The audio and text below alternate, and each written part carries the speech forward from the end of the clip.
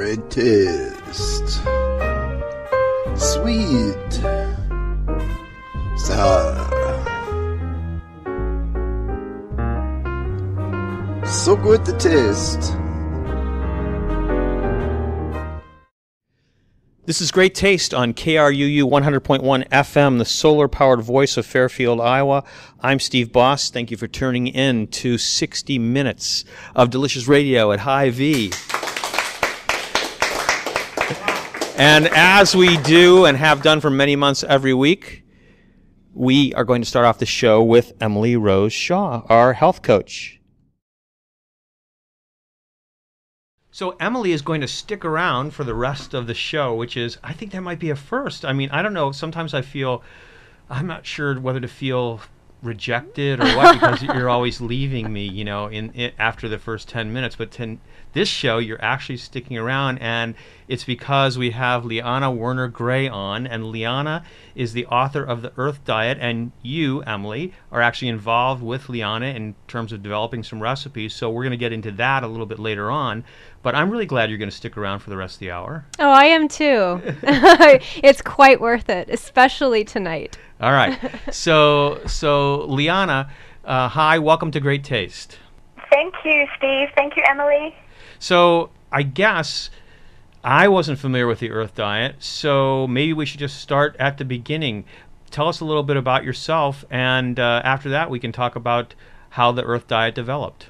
Okay, so I was born and raised in Australia, and I grew up in mostly in the centre of Australia in the outback bush called Alice Springs, and I went to school with half white people and half indigenous people. So I learned at a young age, and we were taken out on school excursions, how the Aboriginals lived off the land and purely off the land with no technology or machinery, and how they survived and thrived in great health.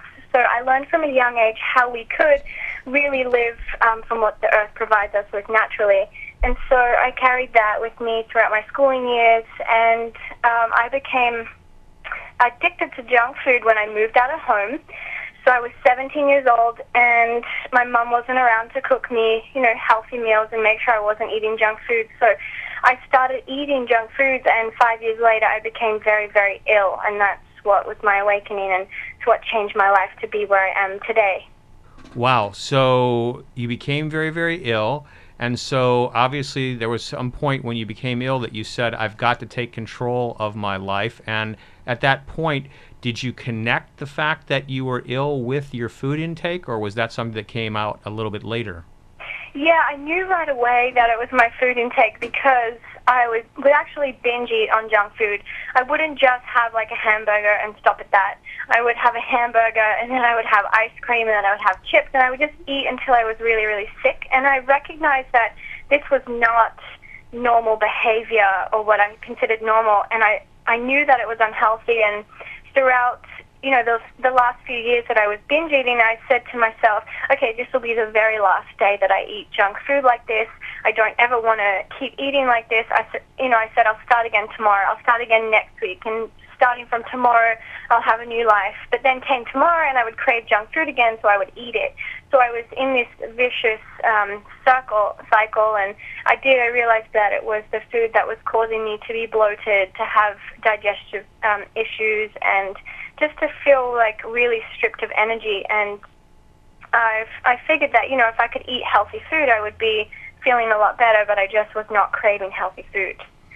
So how did you decide then what was healthy for you to eat? Did you have did you do research in books? Did you go to uh, Weight Watchers? I mean, what what was it that that, that Well, I I wanted to keep living a life where I could eat my favorite taste. Like I thought, surely there's a way I could have chocolate, but it be healthy.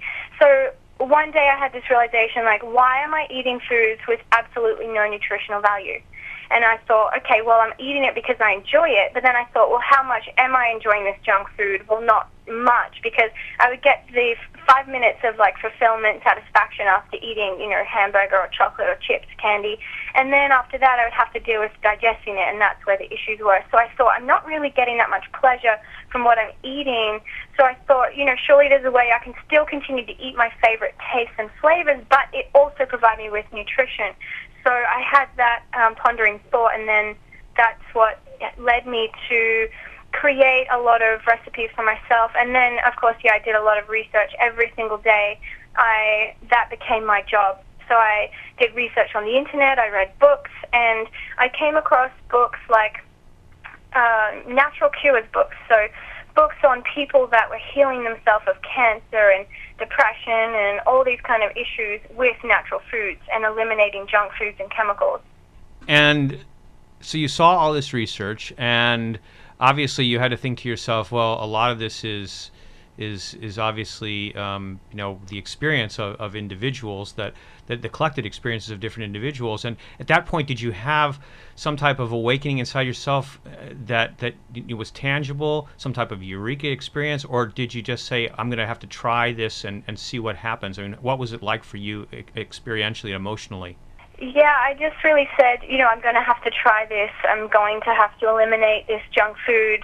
And my turning point was when one day a tumor popped in my neck, and it popped the size of a golf ball, and I thought it was just a swollen gland. So I ignored it for a few weeks, and I became more and more sick and more and more tired. And I thought, wow, if I'm really going to heal this, I have to completely transform my health and everything I'm putting into my body. Emotionally, I was stressed because I knew that that would be hard for me just to end a five-year addiction to junk food and just start eating healthy food. I knew that that would be challenging, but obviously I had to do it at that point because my health was on the on the line. I just, I, I guess I'm trying to think, you know, self referral here. You know, what would I do if I was in a situation like that? And it, it seems like you were very, you know, you had a lot of initiative to go out and try to discover this stuff yourself. And uh, you know, when I think about it, I think, uh, you know what, I just probably rely on all kinds of. I'd go to doctors probably, or or, you know, and I and I wonder, did you just not have any faith in in the medical profession, uh, or did you, you know, just intuitively feel that you had to go a different way? I intuitively felt like I had to go to the path of nature because that was my roots, that was my upbringing. It's not that I doubt medical doctors, but I did start stop taking any pharmaceutical drugs like aspirins, uh, you know, like Panadol.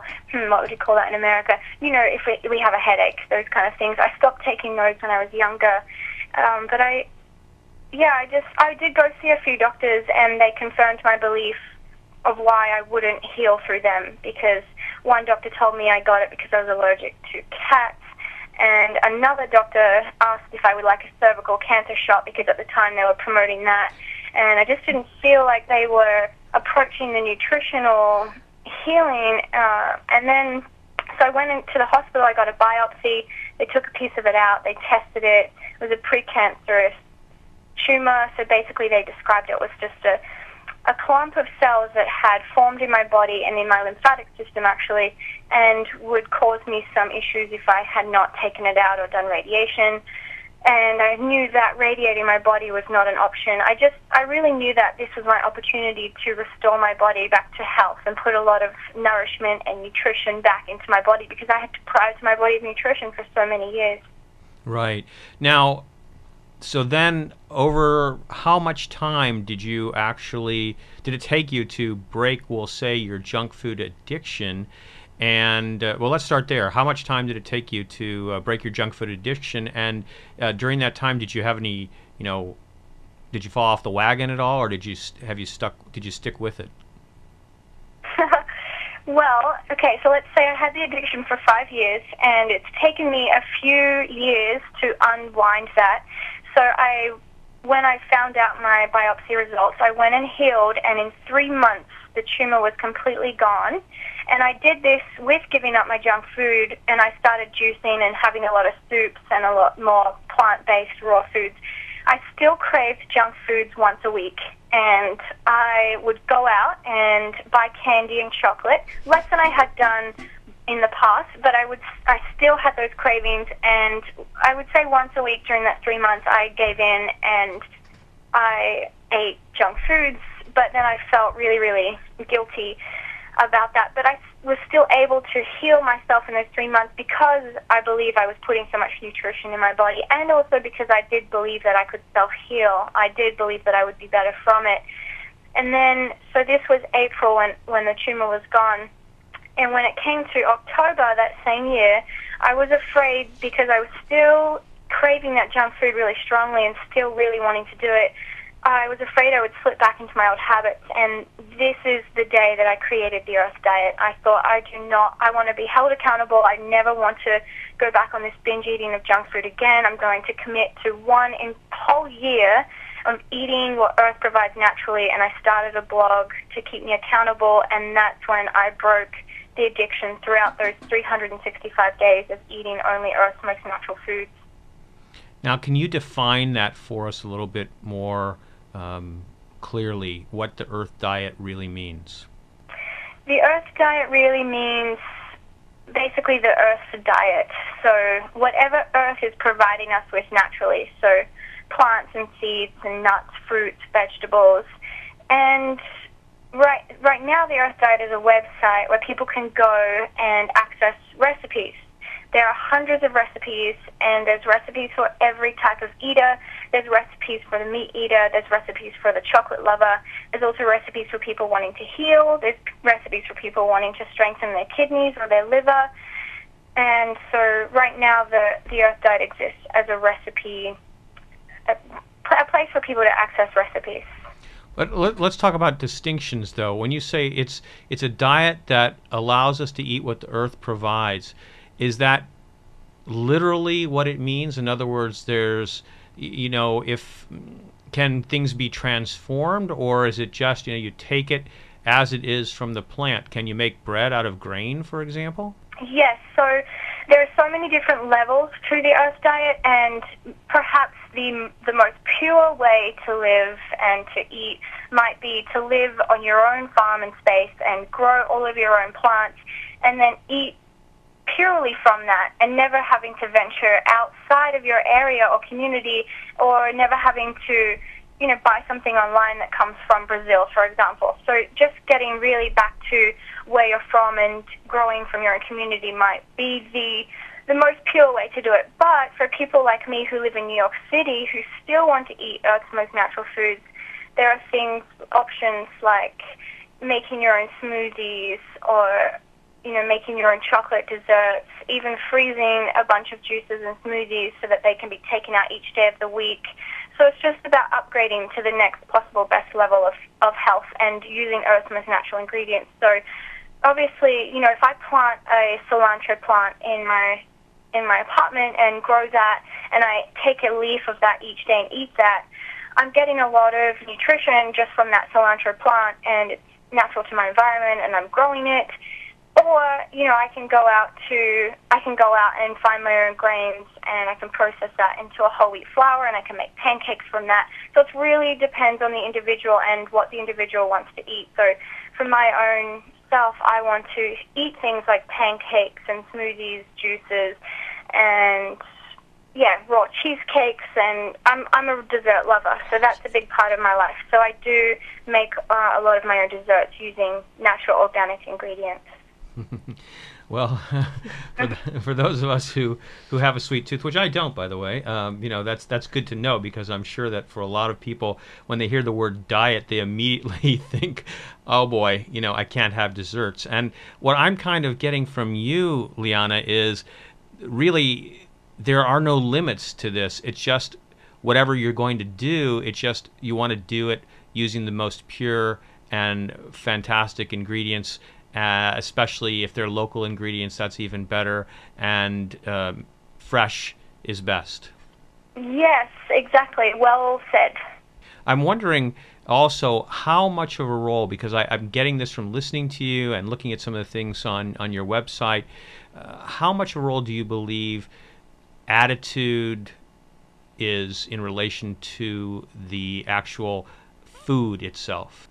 I think it's a huge part, and I believe it goes hand in hand. I believe that it's easier to have a better attitude and better thoughts when we eat better foods coming from a better environment. And I know there are a lot of studies that show that depression and negative thinking comes from eating foods that are highly processed or have a lot of chemicals or that are made from genetically modified organisms. So all of that definitely does play a part.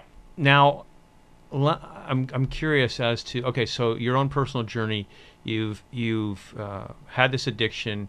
You got onto this this idea of the Earth diet based on your background. You took yourself uh, to task and said, "Okay, I'm going to, you know, eat this for a year." And you journaled and you you you were very disciplined. And then, where did it go from there?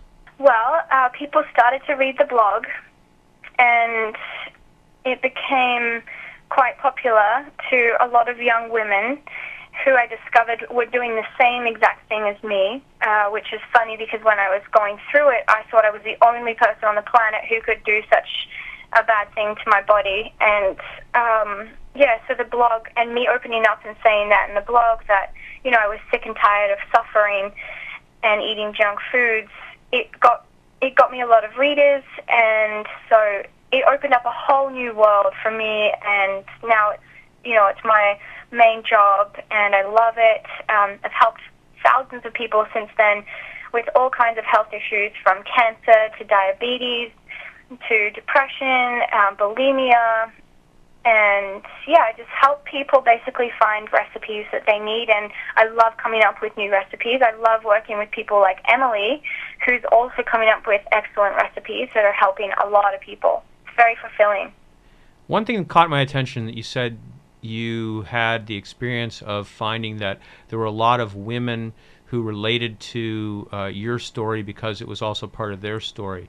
And something interesting is do you have do you find the preponderance of people that you um, that are relating to the earth diet or to what you have to say are women or or, or not I would say majority, just over majority, are women, but there are also a lot of men. I'm finding that the the people that are most interested in the Earth diet are around my age, you know, um, in the 20s and 30s, and they're people that want to live like a productive life and also go after their dreams and their passions, but also, you know, enjoy their favorite tastes like desserts and chocolate. And I believe we live in an era where we can have our cake and eat it too. And so it's those kind of people that are really enjoying the Earth diet. But then there are, of course, people that are, you know, dying of cancer, that are using the recipes as well. There are there are young school children who are 14 or 15 that are using the Earth Diet recipes to gain more confidence at school, to feel better and you know heal their acne.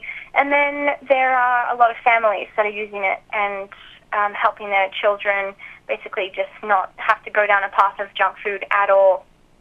Now, is there a specific starting point for people who recognize some of the things that you're saying and they want to change? different aspects of their uh, eating uh, life. Uh, is there one particular way that the Earth Diet starts off, or is it all individualized? It's really individualized and up to the person with what they want to do. For me, I want, like, I did not want to live another day not committing to to doing it for a year full on. I wanted to change everything and not just what I ate, but also what I put on my skin, my shampoos and moisturizers. You know, I made all of those Earth Diet friendly as well. But some people come and they they're quite happy with their health. They just want a few pointers and to add a few more bits of nutrition to their life. So I say to people when they're first starting, start with a lemon water each day because that's probably the most inexpensive, quick way to put nutrition into our body and just we just squeeze a lemon into some water and that alkalizes our body. It's high in vitamin C. It's very refreshing. And when we do that in the morning, we tend to have a healthier day ahead of us. And then if people want to take it to the next level, I say, okay, introduce one juice into your life every single day now for the rest of your life, whether it's a green juice, a beet juice, apple juice, orange juice, grapefruit juice, whatever, just get that juice, get that nutrition at an instant cellular level. And then for the people who really want to take it as far as you know, completely transforming their life, then they um, they'll do like a program. We offer downloadable programs to say someone will download like a 21 day nourishment program and they'll go out and use a shopping list and buy all of the ingredients that they need for those three weeks and they'll just live completely from the earth for those three weeks and it's extremely powerful. I just want to mention too. I just think it's amazing how many different um, products and services that the Earth Diet offers. And I recently started with the Earth Diet, being a mentor. Uh, there's a few of us, and it's just really amazing. Talk about individualizing the Earth Diet de- depending on what exactly they're looking for.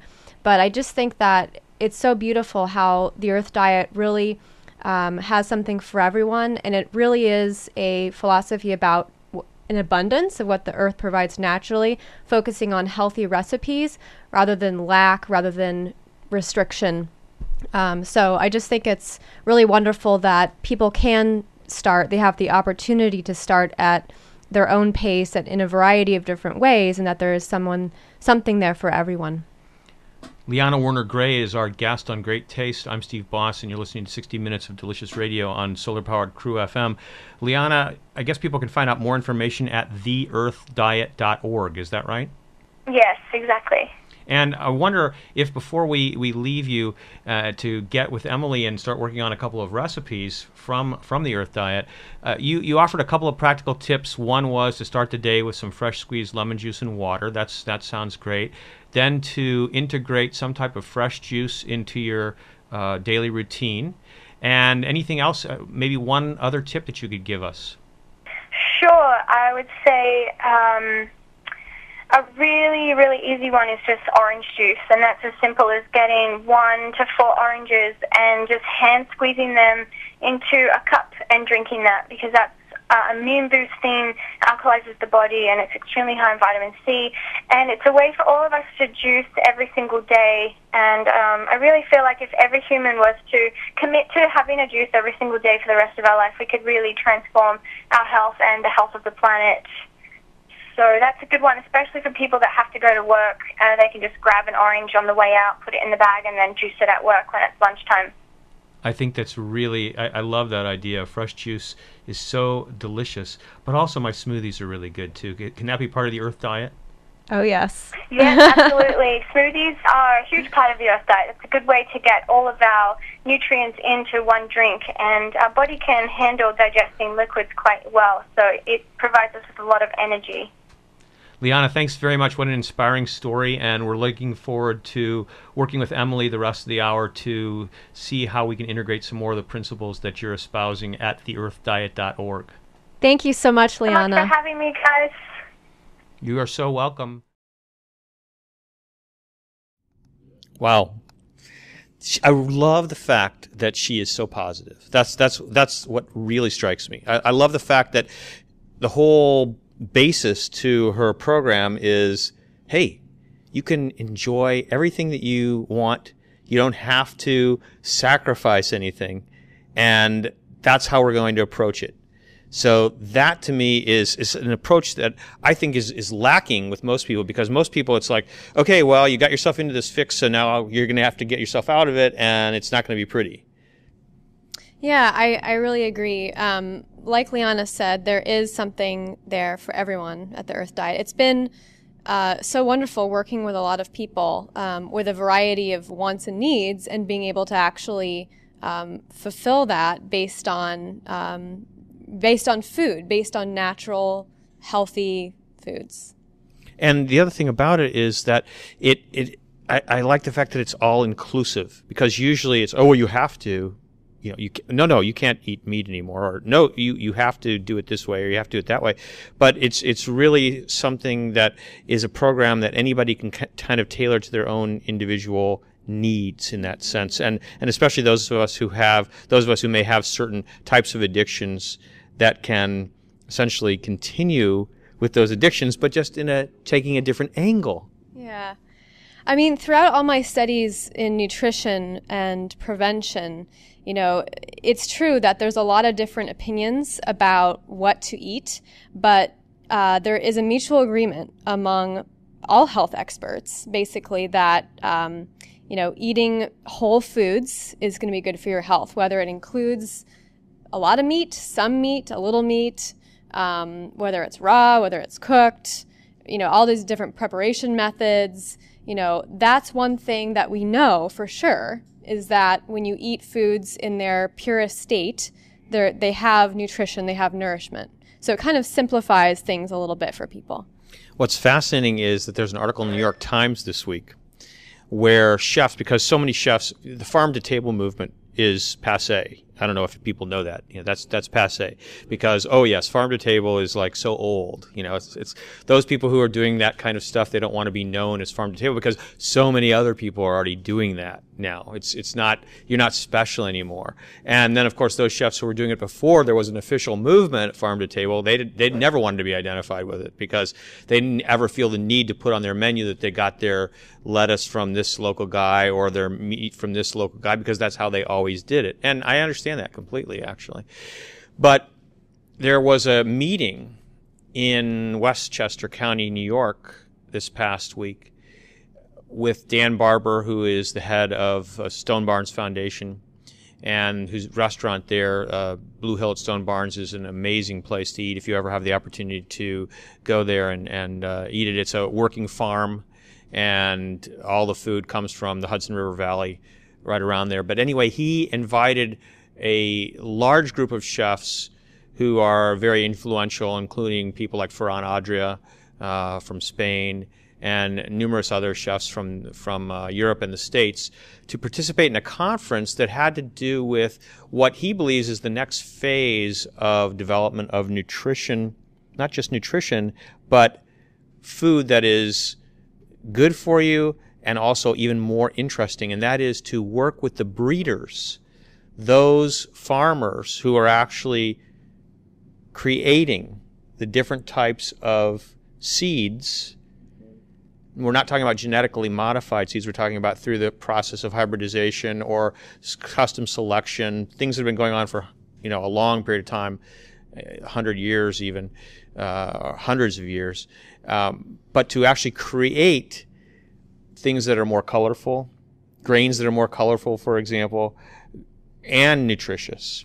So it's it's a really fascinating thing because I think what we're talking about is just really the whole thing about the earth diet is eating more healthy foods at the same time trying to enjoy allowing food to be a c- continued source of enjoyment for us and enjoyment along with its nutritional value. And now the chefs who are leading, you know, leading chefs around the world are thinking about how can we start that actually from the beginning when seeds are actually developed. And then the plants are actually grown with the intent to provide not only more nutrition, but more enjoyment from a sensory standpoint. Yeah, I think that that's really important. You know, from every step of the way is really important. So, speaking of that, Yes. tell us how we're going to enjoy our senses with what you're going to be prepare. We're going to start out with an unbaked chocolate caramel brownie. The, um, these two recipes I created especially for the Earth Diet, and they're going to be published um, in the month of October. And so when so when this is actually airing, they'll be they'll be probably out. And uh, so we're going to do a um, brownie base and then a, a caramel to go on top. Um, and then second, we're going to be doing a spaghetti squash um, pasta with cashew, cauliflower, ricotta. Sounds absolutely delicious. And do we get first chance for these recipes for great taste, or do we have to wait for the Earth Diet? May have to wait, but it's well it's well worth it. I'll try I'll try and uh, get them to come out earlier in the month of October. These specific recipes. How okay, so exactly what are you going to be doing uh, over the month of October with the Earth Diet?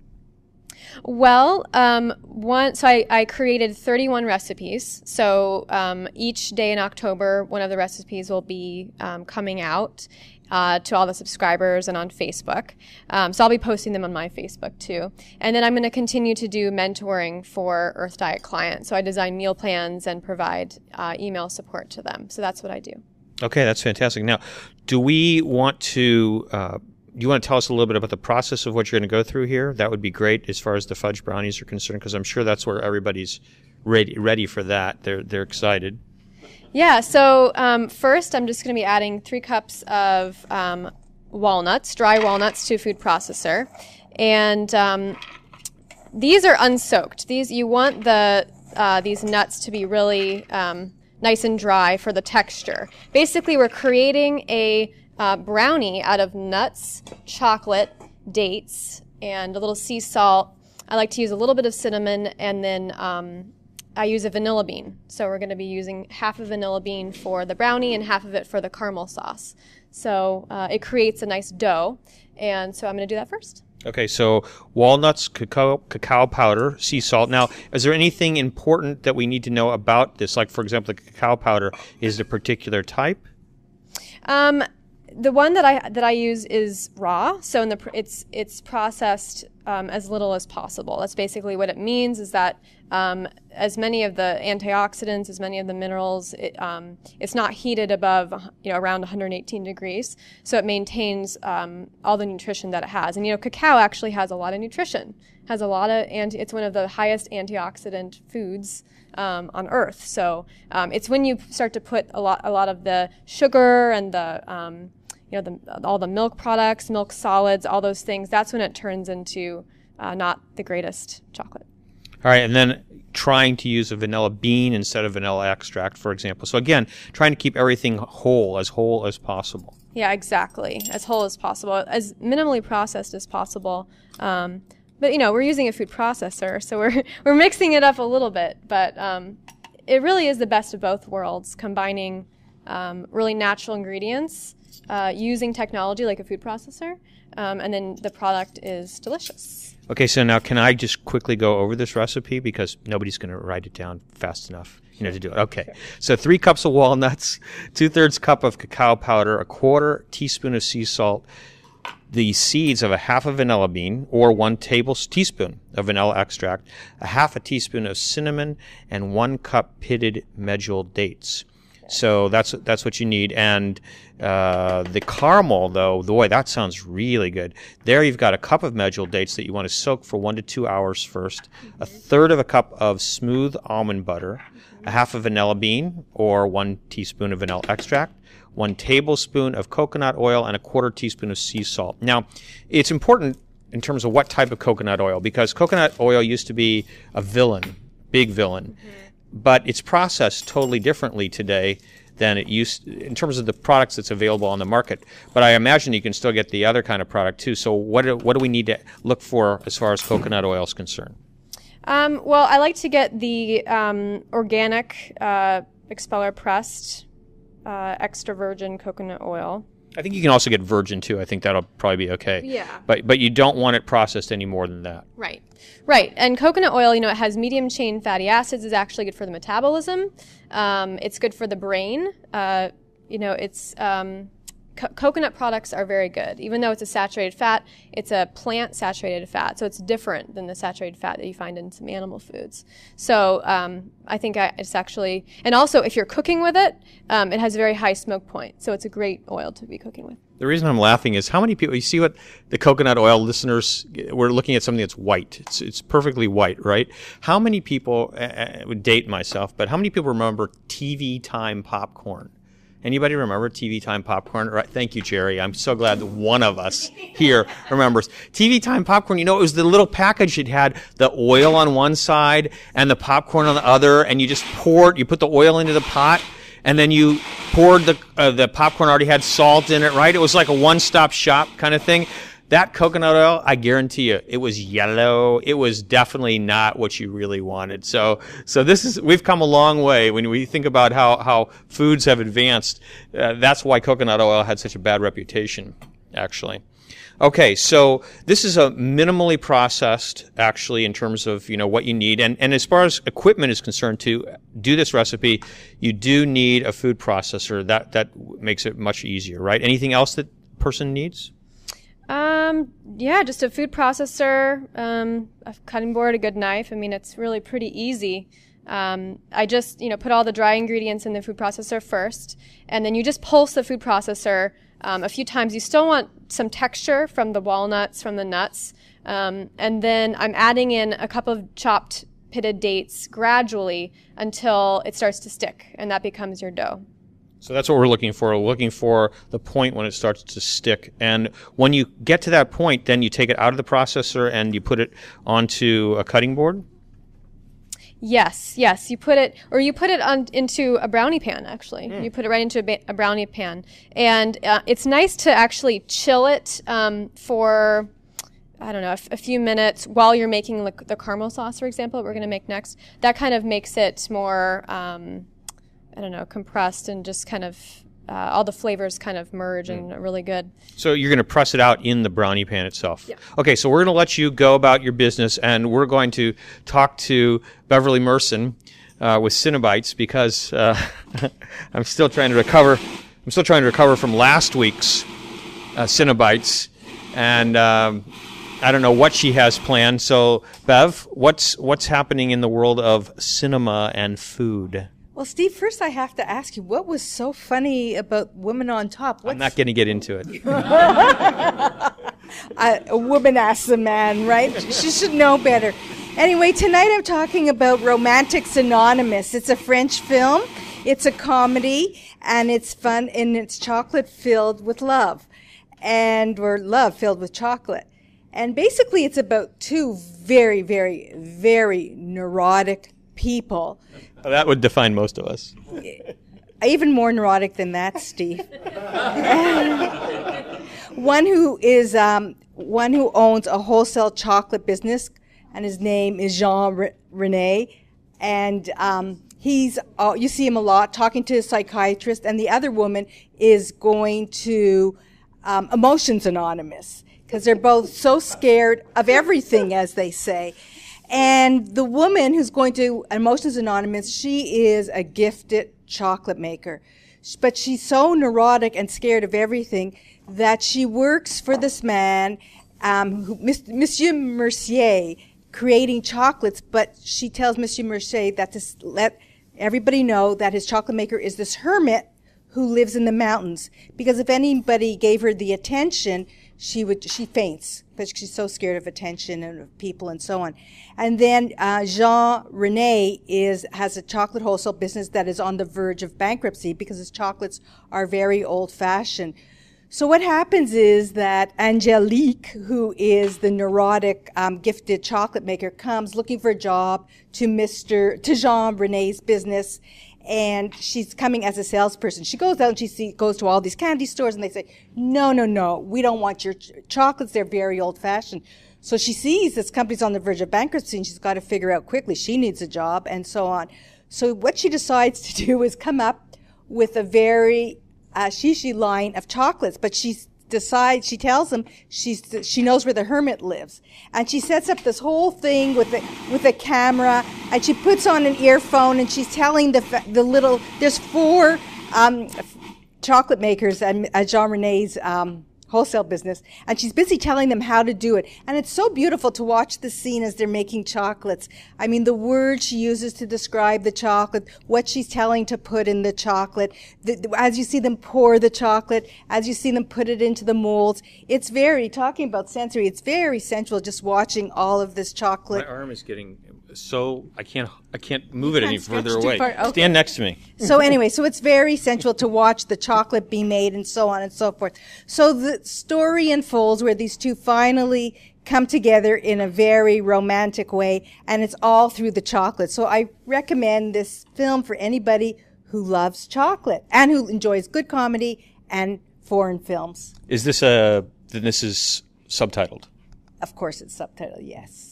Yes. for those of us who don't speak French, right? And and so, so, so, It's called Romantics Anonymous. will you do me a big favor and and our listeners a great favor? Would you just send us send me a list of the different films that you've recommended over the last few weeks because I think it's easy to get lost and they're so wonderful. All your descriptions are great and they sound so intriguing that I'm sure that it'd be great if we could just publish a little list every week. We could do it every couple months. We'll just encapsulate what you've come up with because uh, uh, I know I want to put every one of them on my, my must watch list. That's a great idea, Stephen. I think everyone should be on everyone's must watch list. Thank you. I will do that. Let's do it. We will. Thank you. You're welcome. All right. Beverly Merson with Cinebites. Now, I don't know if we need to visit, revisit with Emily. Oh yeah, we do because this is coming out, so we need to kind of take a little look. Let's look at this before she starts to press it. Here's what it looks like. Here's what the crust is going to look like, and basically, for our listeners, uh, it's just ground up, all the ground up stuff: the walnuts, the cacao powder, the sea salt, the vanilla bean, and all kinds of um, what else? Cinnamon, medjool dates, and I also noticed in here that you could use a half cup of pistachios. Is that in addition, for example, or in place of? It's in place of uh, half half cup of the walnuts, so it just kind of gives it even more of a another dimension to it um, with the pistachios. Um, but uh, didn't have uh, the raw pistachios when I purchased the ingredients, so uh, I just went with all walnuts. But pistachios. You could use any other kind of nut. You could use pecans. Pecans are really great in this recipe too. There's really there's a lot you can do. A lot of the ingredients are interchangeable, um, so you can kind of play around with it. Really use what your you know the favorite nuts that you like for desserts. I'll tell you if you have the opportunity to. Anybody here have their own nut trees? Nobody has their own nut trees. I, I, I just had, yeah, your own nut trees, like in growing in your yard, for example. I, I had uh, my I was visiting my father recently, and he spent days just cracking walnuts, and it was so funny to watch him. He had his own methodology that he was using. He this person was bringing him walnuts from their tree, and he would call him up every day and just say, "Bring me more, bring me more." And he had this. He had a cast iron pan that he turned over so that it was essentially sitting on its top and then he had a hammer and i was i'm talking about a big hammer not just a little hammer and he put that walnut on top of the cast iron pan and he would just tap tap tap a couple times crack his walnut throw the shells in one place actually on the floor a lot of the time and so that i had to clean them up. And then the other walnuts went into a bag which luckily i got to bring back with me. And absolutely you know what I don't know what type of walnuts they were, but all I can say is they were the most delicious walnuts I've ever tasted because most of the time when I've eaten walnuts, they seem to have some bitterness to them. I'm not sure why. These had no bitterness whatsoever. Absolutely sweet, delicious. And the other thing which is fascinating to me is that these were from last year's harvest. They had just been sitting, you know, and had not been cracked uh, because this year's harvest isn't even in yet. And they were they're absolutely extraordinary. Do not come by asking for any because it's not. Uh, we're, we're we're keeping them all to ourselves. Anyway, I, I had to give a, a whole bag away to. He sent one for his granddaughter, and I had to give it to her. I thought about keeping it, but I decided as a father that wasn't really very, very nice. Anyway, you're listening to Great Taste on KRUU 100.1 FM, the solar powered voice of Fairfield, Iowa. I'm Steve Boss. This is 60 minutes of delicious radio. It's also musical radio. Tom Allen is here, and you are going to do what? This is just a piece of music. Uh, it's a classical guitar piece by Fernando Sor, uh, which expresses balance. And one of the things I was really hearing in the, the story of the Earth Diet and how it evolved is that she was so out of balance. And the Earth Diet brought her back into balance, not only with her own physiology, but with the earth around her. So this is a piece that to me expresses balance. I didn't realize this was such an intellectual show, but I'm glad you're here. Got to do something with my uh, assignment to come up with something interesting every time. Okay, here we go.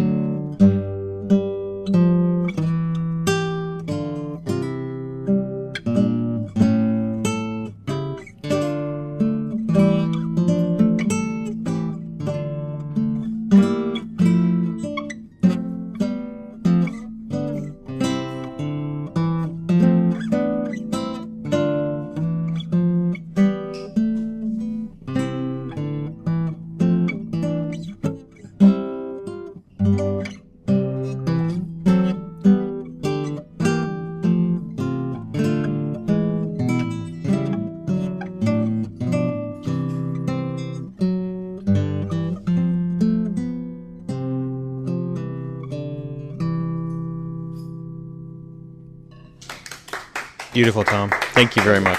Thank you very much. All right. So coming up on Great Taste next week, we'll be into the month of October, and so Oktoberfest.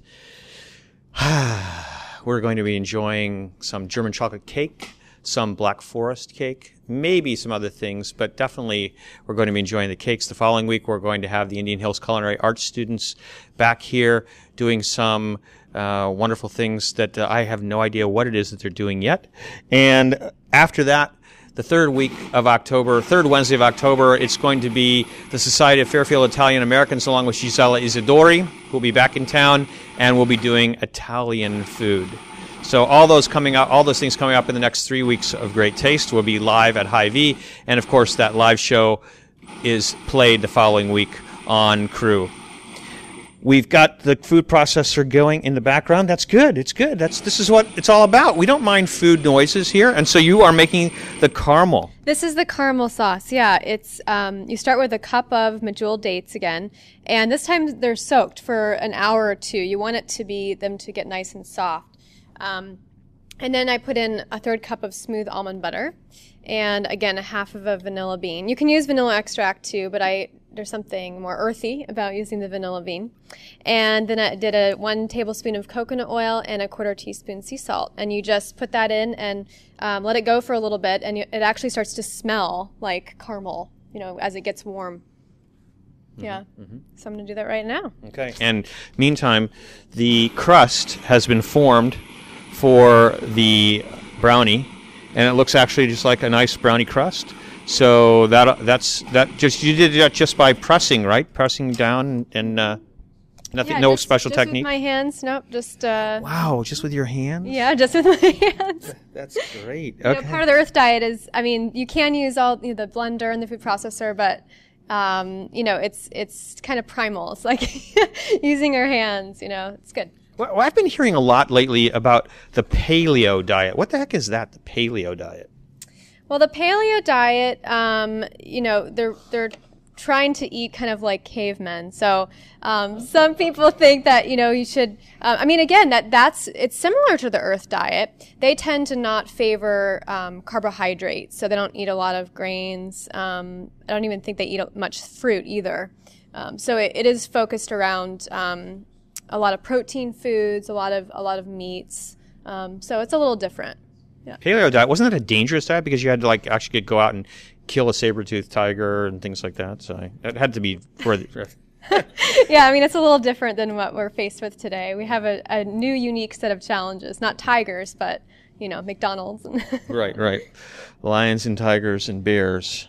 Oh my. Anybody have any questions for Emily about the Earth diet? Because it's really interesting. I think that she is going to be a mentor for the Earth diet. And we're talking about millions of people who are followers of this particular system right now. And I, I, well, the, the thing that really grabs me is I think that what happened was Liana actually reached people on an emotional level.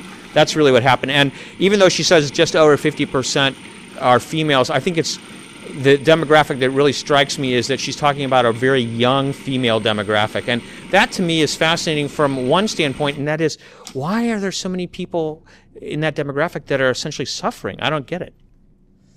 Well, I think there's people, you know, suffering in terms of food, you know, um, of all ages. You know, um, childhood obesity, for example, is on the rise, and and teenagers. Um, Liana mentioned, you know. Um, you know everything from acne, um, digestive problems. A lot of kids go through a lot of stress. I mean, everyone's exposed to a lot of stress, and to me, that's one of the key causes of a lot of problems. So really, people of all ages. But I certainly work with um, you know mothers and um, you know um, career you know career people and, and all, all different kinds of people um, through the earth diet. So uh, there is but i think because of liana um, her her age and um, uh, she's created a following of people who are who are a little younger too. Uh, but really i think what's great about it is there's something there for everyone and people of all ages can benefit from it one of the other things is that I, I think that people don't even realize how simple it is to do things at home that are really healthy and, and can provide long lasting benefits for you. For example, how many people make their own yogurt that are right here in the audience. There's one person, two, oh, you're kind of just sort of raised your hand, you know. Okay. So sometimes you make your own yogurt. But it's so easy to make your own yogurt. And I actually just heard a couple of chefs. This was very interesting to me because there's so many different methods for making yogurt. And two chefs, one being uh, one of the most famous chefs in the United States, who uh, is uh, the, the chef of uh, the um, in the French Laundry, right? Exactly. Thank, thank you very much, Thomas Keller. He recommended. He said he uses a Yogotherm, and I looked it up, and it's just basically a, a plastic container that you don't have to heat and and you can get it in many on many different uh, websites called a Yogotherm, and he uses that to make yogurt. And there is another chef that I heard just recently the same exact thing, and they love the way it turns out. Another ingredient that a lot of people are are u- utilizing, and I have it almost every day is kefir, which is yogurt, but it's a little bit different. And that's so simple to make. It's unbelievable. You just go get yourself some kefir granules. You can get them online. You can probably get them from a friend who's making kefir. And you just drop a few of them in uh, a gallon of whole milk and basically cover the top of it and let it sit for a day or so. And you've got your own kefir. And if it's amazing how simple it is to make these whole foods and to actually get the benefits of them yourself without hardly any effort whatsoever. Uh, yeah. I'm I'm immersed. I'm immersed in the caramel of the brownies. Well, what I'm concerned about is what's going to happen with this. How much time are we going to need for the spaghetti squash? Because I'm I'm thinking that it's going to be something that we're going to be able to make really quickly, right? Yeah, I mean the spaghetti squash um, is already cooked. We, just cooked it at 375 for about 45 minutes um, in a little bit of water, and then um, basically we let it cool, and then you just take a fork and you just kind of um, scrape it, and it's like pasta. It's like a wonderful squash pasta. So um, that doesn't take too long, and then the uh, actual um, ricotta, which is it's dairy free. It uses um, a cup of um, soaked cashews and uh, about six cups of cauliflower, and um, what else is in there, Steve? Uh, garlic, onion, four tablespoons of nutritional yeast. It kind of gives it a little bit of a cheesy flavor, and half of a lemon's juice and thyme, sea salt, and a little bit of almond milk. Now, it's vanilla almond milk, which may sound a little funny, but it kind of gives it a little bit of sweetness, like ricotta, like a dairy traditional ricotta would have. Okay, what is nutritional yeast? Because uh, it's used a lot in recipes, especially raw recipes, and, and it always sounds funny to me, and I, I just wonder exactly what what is it? So it's a it's a yeast that grows on um, like sugar beets, but it's deactivated, so it's not like a active yeast, so you don't have to really worry about that. Um, but it has um, some good B vitamins. It has protein. Um, I think it has like eight grams of protein for a couple tablespoons. So um, there's a lot of vegetarians who um, will take it for a little bit of B12, although there's a controversy around how much B12 you actually absorb from it. So I do recommend, if you're a vegan, to take a B12 supplement. Um, but it does have a fair amount of nutrition and it kind of lends a nice cheesy flavor. Yeah, it definitely adds a very interesting flavor to things. So I want to go over that recipe uh, for the spaghetti squash with cauliflower cashew ricotta.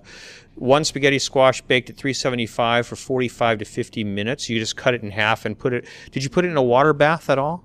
I did. I did put it in a about an inch of water. Okay. And then for the ricotta, you have one small head of cauliflower or a half a large head, which would equal six cups of chopped cauliflower, one cup of cashews soaked four to six hours, one to two cloves of garlic, one half cup onion, chopped onion, four tablespoons nutritional yeast, juice of one half lemon, one teaspoon of thyme, one teaspoon of sea salt, and one half cup of almond milk. Now, tell me, are we going to put all that into a blender? How, how are you going to make that sauce? Yeah, all you do is throw all those ingredients into the Vitamix, and um, it is pretty thick, so you have to use a tamper, um, which is you know this long stick that comes with a, a high-powered blender. Um, you might be able to do it in um, other blenders too, a high, high-speed blender, um, but uh, you know that would be something to try. Maybe the next time I can try doing it in a standard blender and see what happens. You know, I'm using raw cauliflower, but if you were to use um, a standard blender and you used um, cooked cauliflower, that would take out a lot of the work that the blender has to do. So that would that would work. Okay, now one thing I want to make sure that uh, I mentioned is that there also has to be the drizzle of olive oil and sea salt goes on top of the spaghetti squash before you bake it. So you've got the spaghetti squash cut in half. You put drizzle it with a little olive oil and a little sea salt before you bake it at 375. Yeah, or you can um, just cook the squash, and then when it's uh, when you're about to assemble it on the plate before you put the sauce on, you can just drizzle a little bit of um, olive oil and sprinkle a little sea salt, so it's right on that. Okay, so we, we began the, the show by talking with Liana Werner Gray, who is the founder of the Earth Diet. And one thing that I think is interesting uh, that I wanted you to share was actually how in the world did you become associated with her? Oh. Well, it's kind of a story, but basically, um, I had been following her for years, and um, Not stalking her. no, not stalking her. I had been a subscriber of the Earth Diet. well, I was talking a little bit, no.